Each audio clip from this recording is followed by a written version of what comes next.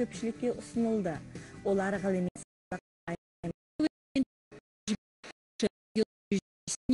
география институтының ғалымдары тағы гете институтының серіктестерімен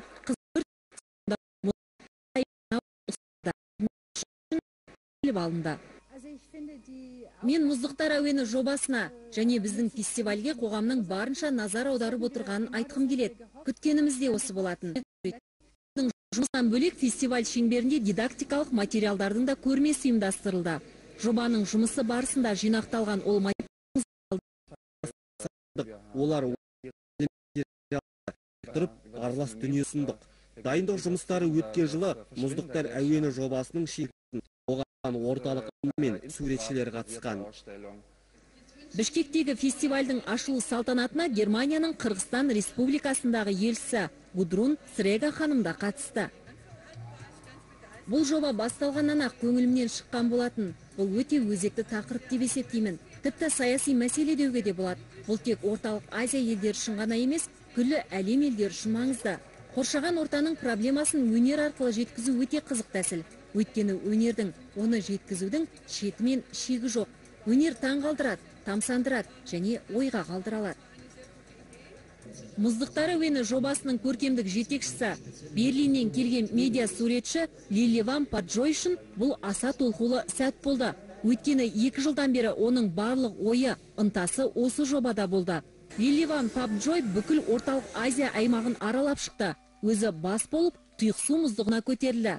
Германияда концерттер қойып жобамен немістерді таныстырды. Қазақстан мен өзбекстанның суретшілеріне арнап семинарлар мен шеберлік сабақтарын өткізді.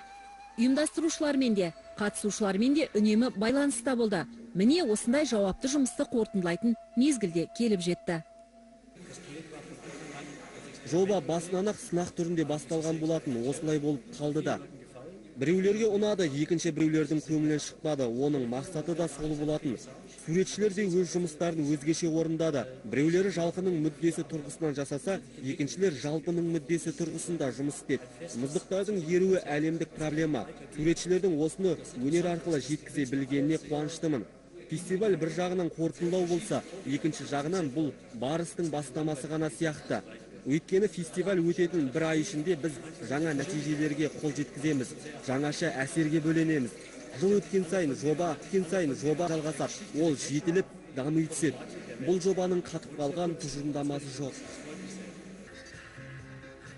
Қырғызстаннан келген суретшілер мека муратова мен николай черкасов лилеваннан кем толқыған жоқ. Олардың балауыздан жасаған жұмысы оңашада деп аталады. Жұмбақ атауы бар жұмыс ашық конкурста назарға ілігіп мұражайдың алдына қойылды. Авторлар жер бетіндегі мұздықтардың еруіне орай туындайтын апаттарда барынша нақты әрі ықшам беруге тырысты. Ал бағасын әлбетте көрермен береді. Бастапқыда көлемді бір кесек балауыздың көмегімен өте үлкен әрі биік инсталляция жасаймыз деп ойлағанбыз. Бірақ қалаған дүниемізді таба алмадық та кішігірім жобаға тоқтадық. Бірақ түпкі идеяны жеткізе білдік деп ойлаймын. Балауыздар арқылы жалғыздық сезімін бергіміз келді. Адамдар еріп жатқан мұздықтың жанында сезінетін үмітсіздік пен торығуды көрсеткіміз келді. Ашық конкурстың басқа қатысушылары көрмеге келген жоқ. Алайда олардың ерген мұздықтарға қатысты ой тұжырымын суретшілердің жұмыстарынан анық байқауға болатын еді. Өзбек суретшісі зафар нәбиевтің бәрі бір бірімен өзара байланысты атты жұмысы қазақстандық суретшілер зоя фалькованың ерге мұздықтардың оркестр атты суреті және ринат бекшынтаевтың жердің текше метрі деп аталатын жұмысы да біраз жайттан хабар берді. Олардан бөлек душанбеден алла және алексей румянцевтер ташкенттен тимур рахметов баят мұхтаров және александр барковский алматыдан алексей филимонов жүргенов атындағы өнер академиясының студенттері айдос асқарұлы мен әлшер жәлелұлы қазақстаннан қатысқан елена познякова мен евгений колокольниковтар да өз жұмыстарын ұсынды. Бұл жұмыстардың баршасы орталық азияның заманауи экспериментальді өнерін паш етті. Тақырыптың өзі ерекше әрі күрделі болды деп ойлаймын. Бүгінгі таңда мұздықтардың еруіне бас қатыратындар көп емес. Суретшілер үшін де менің өзім үшін де бүгінгі таңда назар аударуға тиіс. Бұдан да маңызды мәселелер бар сияқты. ал мұздықтардың еруі деген бізге қатысы жоқ болса да болашақта болатын дүние секілді. Бірақ көрме қорытындысы бойынша қазылар алқасы ең үздік жұмыстарды анықтады.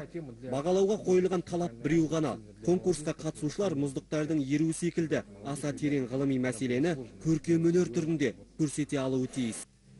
Бішкектегі фестиваль кең ауқымды болды. Іс шара 10 күнге созылды. Күн сайын кешкілік музейдің алдына жиналған көрермен шетелдік және жергілікті музыканттардың өнерін тамашалады. Дәстүрлі және заманауи әуен тыңдап еуропалық аса заманауи музыкалық бағыттардан хабардар болды.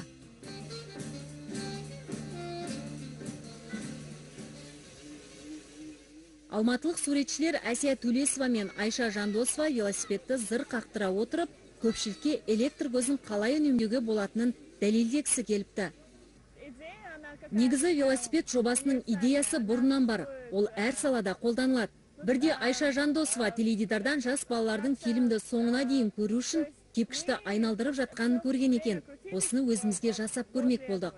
Гете институты осыдан бір екі жыл бұрын қоғамдық ортаны жақсарту жобаларына конкурс жариялады. Сонда біздің велосипедтеріміз жүлделі орындардың бірін иемденді. Бұл көңілді әрі пайдалы. Осындай велосипед тұғырларын қаланың әр бұрышына қоюға болар еді. Оларды айналдыру арқылы ұялы телефондарды зарядтауға музыка тыңдауға және кино көруге болады. Фестиваль шарықтау шегіне жеткенде германиядан келген музыканттар алойс шпет пен ағайынды андреас және йоханнес тайхмандер сахна төріне көтерілді. Олар ашық концерт музыкалық перформанс және дыбыстық инсталляцияны қолдана отырып керемет өнер көрсетті.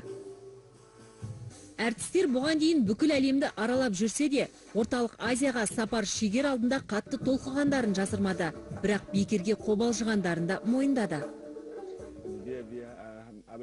Біз дыбыстық инсталляцияның шебері алуис шпетпен бірге өнер көрсетеміз. Ол өз шығармашылығында кәдімгі мұзды да мұздатқышты да пайдаланады. Яғни мұздықтар әуені деген тақырыппен байланыс бар. Бірақ біз бауырым екеуміз негізінен электронды музыканың эффектілерімен жұмыс істейміз. Алуис шығаратын дыбыстарды қатырамыз. Көбінесе импровизация жасауға тура келеді. Жергілікті музыканттармен бірге өнер көрсеткенде бұл әдісті көп пайдаланамыз. Біз үшін бұл тәжірибе іспетті концерттің алдын ала дайындалмаған импровизацияланған бөлігі өзіміздің де көрерменнің де көңілінен шығады.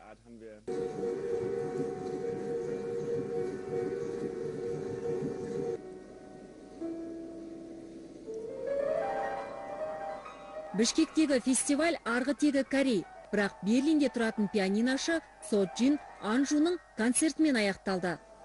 Соджин суретші лиливаның сүйемелдеуімен танымал америкалық авангард музыкант мортон субботниктің шығармасын орындады. Қырғызстандағы мұздықтар әуені осылайша әдемі аяқталды. Біздің ізденісімізді түсіндіріп жатудың керегі жоқ сияқты. Көп ойланудың қажеті жоқ. Тек ләззатқа бөлене білсең жеткілікті. Экраннан көрсетілген бейненің де дыбыстың да қазақстанның тұйықсу мұздығында жазылғанын айта кетейін. Бұл табиғаттың өзі шығарған дыбыстар. Мортон субботниктің шығармасы осы көрініске де дыбысқа да барынша сай келеді екен. Сондықтан субботниктің шығармасын орындау арқылы табиғат пен өнердің өзара үйлесімін көрсеткім келді.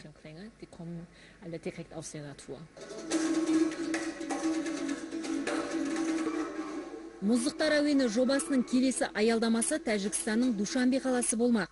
Сосын олар алматыға аялдап сол жерден ташкентке аттанады.